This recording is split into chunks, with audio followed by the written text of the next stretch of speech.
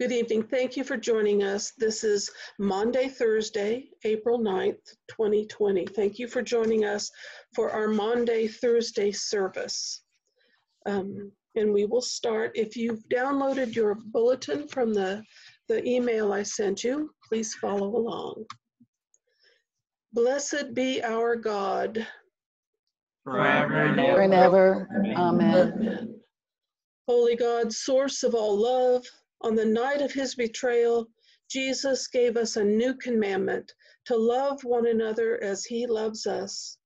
Write this commandment in our hearts and give us the will to serve others as he was servant of all. Your Son, Jesus Christ, our Savior and Lord, who lives and reigns with you in the Holy Spirit, one God, now and forever. Amen. Amen. The first reading is from the book of Exodus. Can you turn it up a little bit, Marcia? Reading from Exodus. The Lord said to Moses and Aaron in the land of Egypt, This month shall mark for you the beginning of months. It shall be the first month of the year for you. Tell the whole congregation of Israel that on the 10th of this month they are to take a lamb for each family, a lamb for each household. If a household is too small for a whole lamb, it shall join its closest neighbor in obtaining one. The lamb shall be divided in proportion to the number of people who eat of it. This is how you shall eat it your loins girded, your sandals on your feet, and your staff in your hand, and you shall eat it hurriedly. It is the Passover of the Lord. For I will pass through the land of Egypt that night, and I will strike down every firstborn in the land of Egypt, both human beings and animals. On, on all of the gods of Egypt, I will execute judgments. I am the Lord. The blood shall be a sign for you on the houses where you live. When I see the blood, I will pass over you, and the plague shall destroy you, and no plague shall destroy you when I strike the land of Egypt. This day shall be a day of remembrance for you. You shall celebrate it as a festival to the Lord. Throughout your generations, you shall observe it as a perpetual ordinance. The word of the Lord. Thanks be to Thanks be to God. Psalm 116. I am the Lord because he has heard the voice of my supplication, because he has inclined his ear to me whenever I called upon him. How shall I repay the Lord? For all the good things he has done for me, I shall lift, the cup, lift up the cup of salvation and call upon the name of the Lord.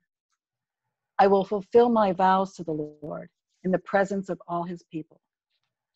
Precious in the sight of the Lord is the death of his servants. O Lord, I am your servant. I am your servant and the child of your house, babe. You have freed me from my bonds. I will offer you the sacrifice of thanksgiving and call upon the name of the Lord. I will, will fulfill my vows to the Lord in the presence of all his people. In the courts of the Lord's house, in the midst of you, O Jerusalem, hallelujah. A reading from the first letter of Paul to the Corinthians. For I received from the Lord what I also handed on to you, that the Lord Jesus, on the night when he was betrayed, took a loaf of bread, and when he had given thanks, broke it and said, This is my body that is for you. Do this in remembrance of me. In the same way, he took the cup also, after supper, saying, This cup is the new covenant in my blood. Do this as often as you drink it in remembrance of me. For as often as you eat this bread and drink the cup, you proclaim the Lord's death until he comes. The word of the Lord. Thanks be to God. God. A reading from the Gospel of John. Now, before the festival of the Passover, Jesus knew that his hour had come to depart from this world and to go to the Father. Having loved his own who were in the world, he loved them to the end. The devil had already put into the heart of Judas, son of Simon Iscariot, to betray him. And during supper, Jesus, knowing that the, the Father had given him all things into his hands, and that he had come from God and was going to God, got up from the table, took off his outer robe, and tied it, uh, tied a towel around himself. Then he poured water into a basin and began to wash the disciples' feet and to wipe them with the towel that was tied around him. He came to Simon Peter, who said to him, Lord, are you going to wash my feet? Jesus answered, You do not know now what I am doing, but later you will understand. Peter said to him, You will never wash my feet. Jesus answered, Unless I wash you, you have no share with me. Simon Peter said to him, Lord, not my feet only, but also my hands and my head. Jesus said to him, One who has bathed does not need to wash, except for the feet, but is, in, is, ex, is entirely clean. And you are clean, though, though not all of you. For he knew he was to be betrayed. For this, this reason he said, Not all of you are clean. After he had washed their feet, had put on he had put on his robe and had returned to the table, he said to them, Do you know what I have done to you? You call me teacher and Lord, and you are right, for that is what I am. So if I, your Lord and teacher, have washed your feet, you also ought to wash one another's feet. For I have set you an example that you also should do as I have done to you. Very truly, I tell you, servants are not greater than their master, nor are messengers greater than the one who sent them. If you know these things, you are blessed if you do them. Now the Son of Man has been glorified, and God has been glorified in him. If God has been glorified in him, God will also glorify him in himself, and will glorify him at once. Little children, I am with you only a little longer. You will look for me, and as I said to the Jews, so now I say to you, where I am going, you cannot come. I give you a new commandment that you love one another. Just as I have loved you, you also should love one another. By this, everyone will know that you are my disciples if you have love for one another. The Gospel of the Lord. Thanks Thanks be to Thanks be to God. God. Thank you.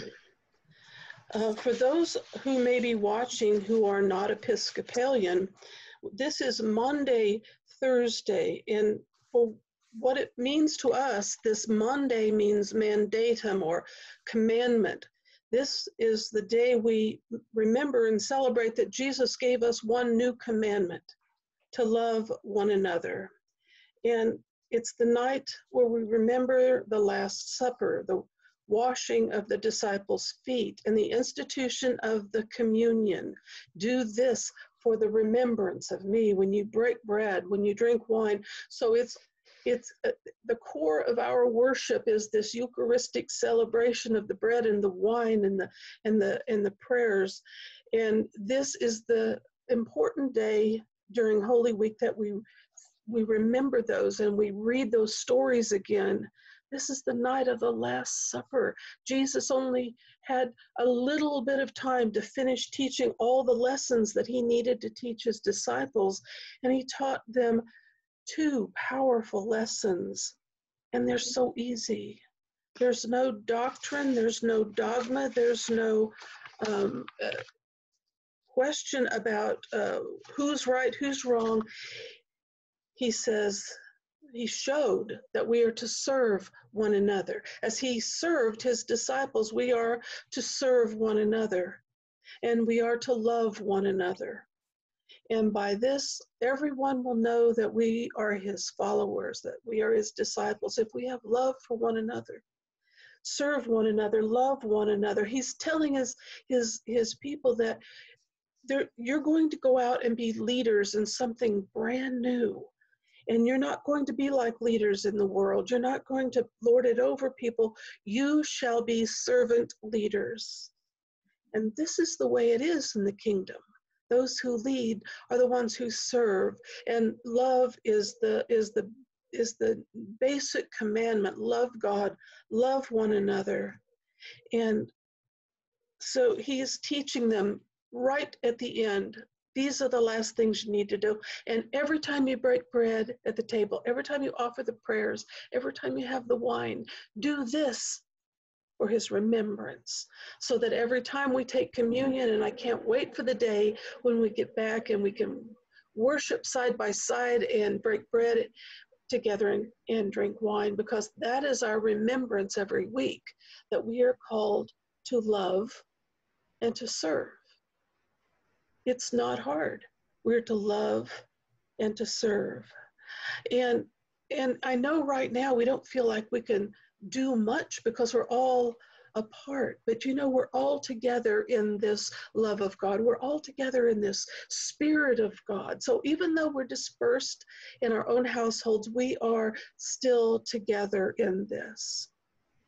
And we can serve one another and we can show love for one another. We just have to figure out a way that can we can do that. Who in our world right now needs the love the most? Who needs to be served? And we know that there are ways we can stay home and, and, and stay well. When we do that, then we're being loving to the hospital and medical uh, communities. If we stay home and don't get sick, it'll make it easier on the people in the hospitals.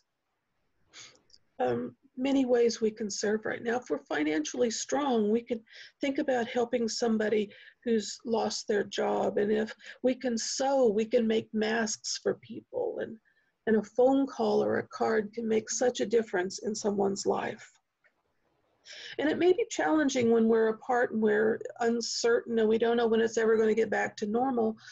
It, but it may be challenging, but we can always look around us in our own families, in our own homes, out our windows, in our front yard, and look where we see the presence of God. Those are God sightings. So look for those examples as we walk into this pandemic every day. Um, pray for those who are walking in and serving as healthcare workers. Um, Everything that Jesus did, all his lessons to his disciples was about people and relationships and compassion and healing and caring and loving. So that's what we have to remember this Maundy, Thursday, because the road is going to get rockier. Tomorrow is Good Friday. This is the day we remember the worst, the worst of the world, what they did to Jesus. So be good to one another, take care of one another. And I know I've been hearing, and you probably have too, that there are people that are saying this is the end time.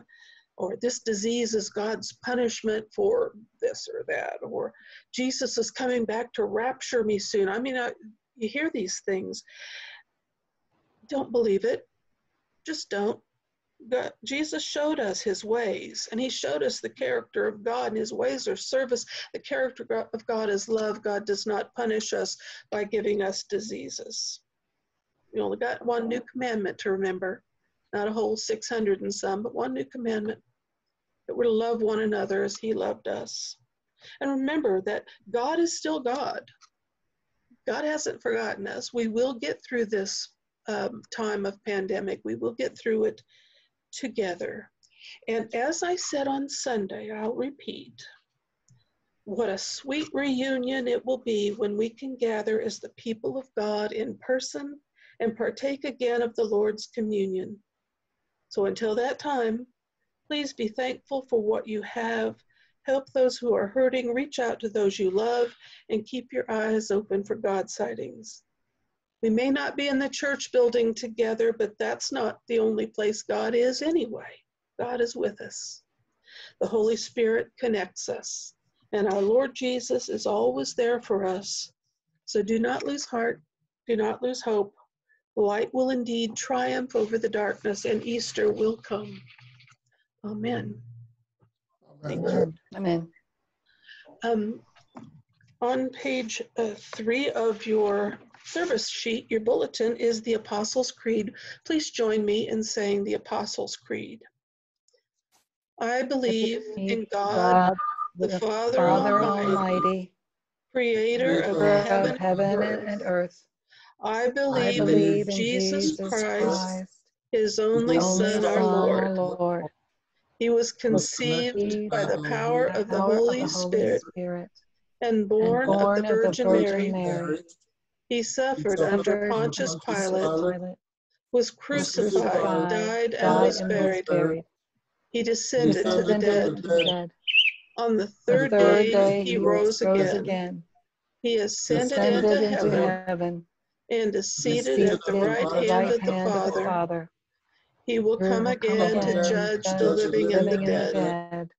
I believe in the Holy The the Holy Spirit, the Holy Catholic Church, the communion of communion of saints, saints, the the forgiveness of forgiveness of sins, sins, the and the resurrection of the resurrection of the body, body, and the and life life everlasting. everlasting. Amen. Amen. And let us pray uh, the contemporary Lord's Prayer. Our Father in Our heaven, Heaven, hallowed be Hallowed be your name. name. Your Your kingdom kingdom come, come, your will be will done be done on earth on as in earth as heaven. it is in heaven. Give us Give us today this our daily bread. daily bread. Forgive us Give our us Give us our sins sins as as we we forgive forgive those who those sin who against sin us. against us. Save us Save from us the from time the of time of trial trial. and deliver us from us from evil. evil. For the For the kingdom, kingdom, the the power, power, power and the the glory. glory glory are are yours, yours, now now and and forever. forever. Amen. Amen. Now united with Christians around the globe on this Maundy, Thursday, let us pray for the church, the earth, our troubled world, and all in need, responding to each petition with the words, Your mercy is great. Morrison. Blessed are you, Holy God, for the church. Gather all the baptized around your presence in the world. Strengthen the body of your people, even when we cannot assemble for worship. Give our bishops and all our clergy fulfill, fulfillment and creativity for their ministry in this time, and accompany those preparing for baptism. Hear us, Holy God. Your mercy is Mercy great. is great. Blessed are you, bountiful God, for this good earth and for the flowering of the springtime. Save dry lands from destructive droughts. Protect the waters from pollution. Allow in this time the planting of fields for food. Make us into caregivers of your plants and animals. Hear us, bountiful Lord. Your Your mercy is great. is great. Blessed are you, sovereign God, for our nation. Inspire all people to live in peace and concord. Grant wisdom and courage to heads of state and to legislators as they face the coronavirus.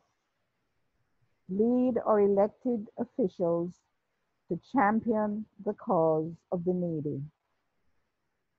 Hear us, sovereign God. Your mercy, mercy is Mercy great. is great. Blessed are you, faithful God, for you accompany suffering humanity with love. Abide wherever the coronavirus has struck. Visit all who mourn their dead, all who have con- contracted the virus, those who are quarantined or stranded away from home, those who have lost their employment, those who fear the present and the future. Support physicians, nurses, and health and home health aides, medical researchers, and the World Health Organization. Hear us, faithful God. Your mercy, Mercy is, is great. great. Blessed are you, gracious God, for you care for the needy. We beg you to feed the hungry, protect the refugee, embrace the distressed, house the homeless, nurse the sick, and comfort the dying. Especially we pray for those we name before you now. For my son's safe return from Japan, for my family, for this congregation that is uh, scattered but together today, that we may return to worship uh, soon. Pray for all the young people. And pray for those who have died. Hear us, God. Your Your mercy mercy is great. Great. Blessed are you, loving God, that your Son knelt before us, your unworthy servants. Preserve our lives, comfort our anxiety, and receive now the petitions of our hearts. Lord, keep us strong in faith. Help us to reach out to those who are hurting this day. And we pray, Lord, that we could, those who've lost their jobs can get some relief from money, with money from the government, that they can get what they need to eat and health care that they need. Hear us, God. Your mercy, Mercy is, is great. great. Blessed are you, eternal God, for all who have died in the faith, and those whom we name before you here. And Dave, for those who've died in this epidemic. Hear us, loving God. Your mercy, is Mercy great. is great. At the end, bring us with them into your everlasting glory. Hear us, eternal God. Your mercy, Mercy is great. is great. Receive, merciful God, our prayers for the sake of Jesus Christ, the host of our meal of life, who died and rose that we might live with you now and forever. Amen. Amen. Amen. Amen. Now may the Lord bless us and keep us. The Lord make his face to shine upon us and be gracious to us. The Lord lift up his countenance upon us and give us peace. And now let us go in peace to love and serve the Lord. Amen. Thanks Thanks to God. to God. And thank you for joining us for a Maundy, Thursday celebration. Hopefully that you can make your Thursday night meal something special and say the prayers for Maundy, Thursday. And as always, um, don't lose hope, keep the faith, take care of yourself, stay inside and wash your hands, and we'll see you tomorrow. Good night.